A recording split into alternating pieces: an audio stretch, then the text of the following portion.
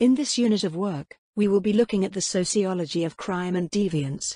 We will consider the role of crime in society and the sociological causes of crime.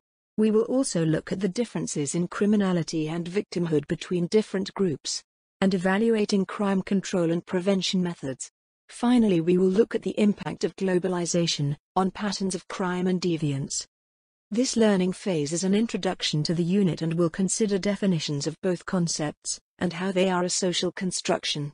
We will also look at non-sociological explanations of crime and deviance. You will not be examined on this, but it provides some background.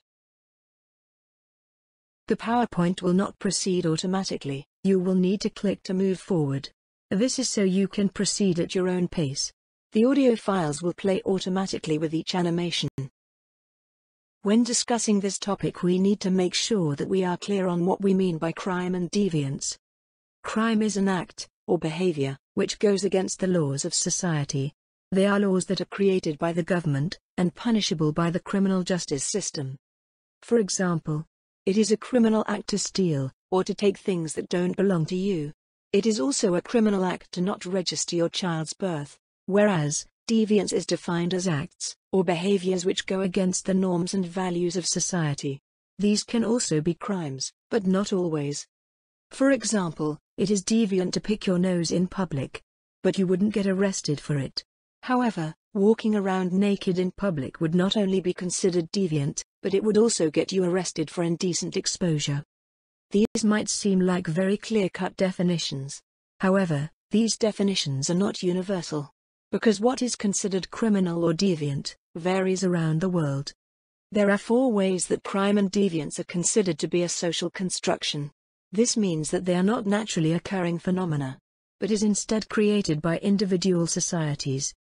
The first way that crime and deviance is a social construction is because it is context dependent. This means that behaviors that are acceptable in certain situations would not be in others.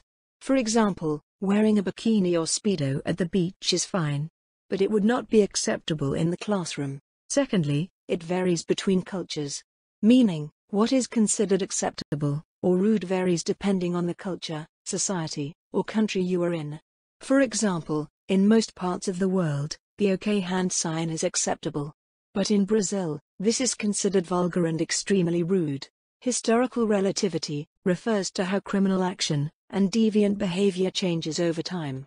What was once acceptable may become illegal or deviant, and what was once deviant or illegal may become acceptable. For example, in the Victorian era, opium was not only legal, but often given as a medicine without prescription. However, it is now a Class A drug, which carries a life prison sentence for dealing. Finally, generational variance refers to how some behaviors are acceptable from certain age groups, but not others. For example, it would be considered deviant for an 80-year-old to be clubbing. Additionally, the law places age restrictions on certain products and activities. For example, you cannot buy alcohol in the UK if you are under 18. One way that society tries to explain criminal and deviant behavior is by looking at psychological issues. Remember you will not be examined on this but this will give you some background and alternative theories. The first theory is put forward by Bowlby. Bowlby suggests, one of the reasons why people commit crime, is due to maternal deprivation. This theory suggests that criminal behavior is linked to a lack of motherly love at a young age. Bowlby states that a strong, warm and healthy relationship with a mother figure is necessary for good psychological development.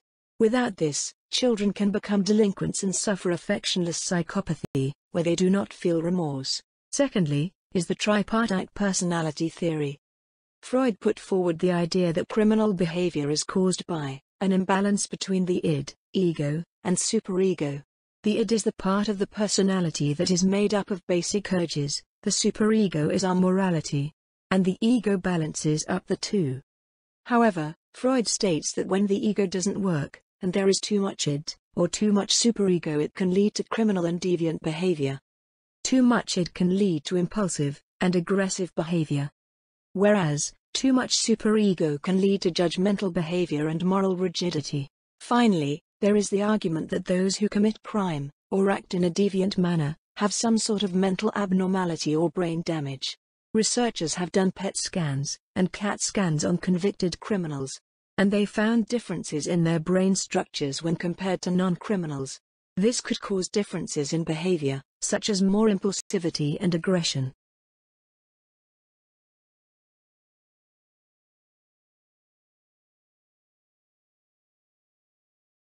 The psychological explanations can be criticized, because they are more theories than explanations.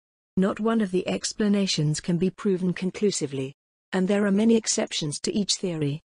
For example, Bowlby states that it is a lack of maternal love which leads to deviance. However, many children who are raised by single fathers, other family members, or in care, do not go on to become criminals. This theory also places the blame for criminal behavior at the feet of mothers, rather than the individual themselves.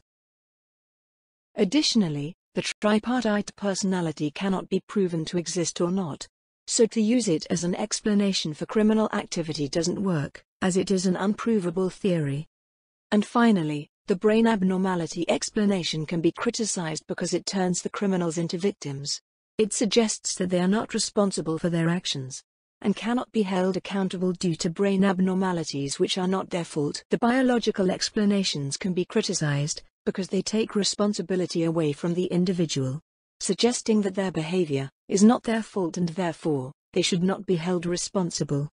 Additionally, the genetic explanation can be criticized because not everyone who has the mutation on the M, A, O, A gene goes on to commit crime.